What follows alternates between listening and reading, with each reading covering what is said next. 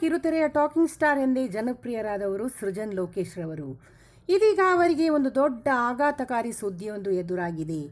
ದೀಪಾವಳಿ ಹಬ್ಬದ ಸಡಗರ ಸಂಭ್ರಮದಲ್ಲಿದ್ದ ಸೃಜನ್ ಲೋಕೇಶ್ ಅವರ ಮನೆಗೆ ಒಂದು ನೋವಿನ ಸಂಗತಿ ಎದುರಾಗಿದೆ.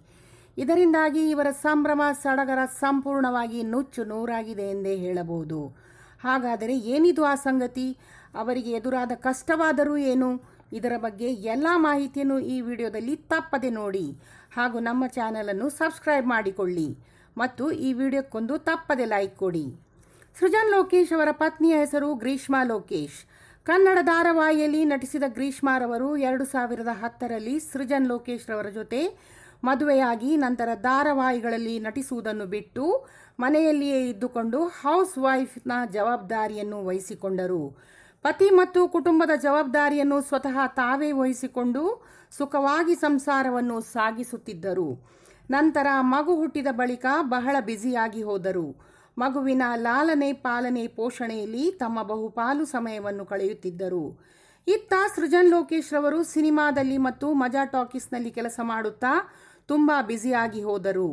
ಮನೆಯಲ್ಲಿ ಸೃಜನ್ ಲೋಕೇಶ್ ರವರ ತಾಯಿ ಗಿರಿಜಾ ಲೋಕೇಶ್ ರವರು ಕೂಡ ಸಂಪೂರ್ಣವಾಗಿ ಮೊಮ್ಮಕ್ಕಳ ಜೊತೆ ತಮ್ಮ ಸಮಯ ಕಳೆಯಲು ಪ್ರಾರಂಭಿಸಿದರು. ಇದಲ್ಲದೆ ದೀಪಾವಳಿ ಹಬ್ಬವನ್ನು ಕೂಡ ಮನೆಯಲ್ಲಿ ಸಡಗರ ಸಂಭ್ರಮದಿಂದ ಆಚರಿಸಿದ್ದಾರೆ.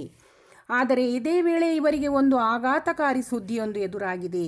ಸುಖವಾಗಿದ್ದ ಸಂಸಾರದಲ್ಲಿ ಇದೀಗ ದುಃಖಕರವಾದ ಸಂಗತಿಯೊಂದು ಎದುರಾಗಿದೆ. ಹೌದು, ಗ್ರೀಷ್ಮಾ ಲೋಕೇಶ್ ಅವರ ತಂದೆ ಈಗ ಇನ್ನಿಲ್ಲವಾಗಿದ್ದಾರೆ. ತಂದೆ ಜೊತೆ ಇರುವ ಕೊನೆಯ ಫೋಟೋವನ್ನು ಹಂಚಿಕೊಂಡಿದ್ದಾರೆ. ನಿಮ್ಮ ಜೊತೆ ತೆಗೆಸಿಕೊಂಡ ಕೊನೆಯ ಫೋಟೋ ಇದಾಗುತ್ತದೆ ಎಂದು ನಾನು ಭಾವಿಸಿರಲಿಲ್ಲ. ಇಷ್ಟು ಬೇಗ ನೀವು ನಮ್ಮನ್ನೆಲ್ಲ ಬಿಟ್ಟು ಹೋಗುತ್ತೀರಿ ಎಂದು ನಾನು ಕನಸು ಮನಸ್ಸಿನಲ್ಲಿಯೂ ಎಣಿಸಿರಲಿಲ್ಲ. ಅಪ್ಪಾಜಿ, ನೀವು ನಮ್ಮನ್ನು ಯಾವಾಗಲೂ ರಕ್ಷಿಸುತ್ತೀರಿ ಎಂದು ನನಗೆ ಗೊತ್ತಿದೆ. ನನಗೆ ನಂಬಿಕೆ ಇದೆ. ನೀವು ನನ್ನನ್ನು ತುಂಬ ಪ್ರೀತಿ ಮಾಡುತ್ತಿದ್ದ ರೀತಿಯನ್ನು ನಾನು ಇಷ್ಟಪಡುತ್ತೇನೆ. ಹೀಗೆಂದು ಭಾವುಕರಾಗಿ ಗ್ರೀಷ್ಮಾರವರು ತಮ್ಮ ಮಾತುಗಳನ್ನು ಹಂಚಿಕೊಂಡಿದ್ದಾರೆ. ಇನ್ನು ಸೃಜನ್ ಲೋಕೇಶ್ ರವರು ಕೂಡ ತಮ್ಮ ಮಾವನ ಜೊತೆಗೆ ತೆಗೆಸಿದ್ದ ಫೋಟೋವನ್ನು ಶೇರ್ ಮಾಡಿಕೊಂಡು ಮಿಸ್ ಯು ಅಂಕಲ್ ಎಂದು ಬರೆದುಕೊಂಡಿದ್ದಾರೆ. ಸೃಜನ್ ಲೋಕೇಶ್ ಮತ್ತು ಗ್ರೀಷ್ಮಾ ಅವರಿಗೆ ಅವರ ಫ್ರೆಂಡ್ಸ್ ಮತ್ತು ಕುಟುಂಬದವರು ಇದೀಗ ಸಾಂತ್ವನವನ್ನು ಹೇಳಿದ್ದಾರೆ.